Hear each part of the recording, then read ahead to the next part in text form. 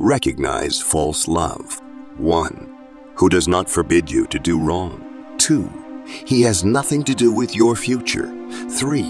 Who does not understand your importance. 4. The one who unnecessarily shouts at you and insults you at many places. 5. Who has been attracted by your money and your fame. 6. Who does not think it appropriate to tell you anything. 7.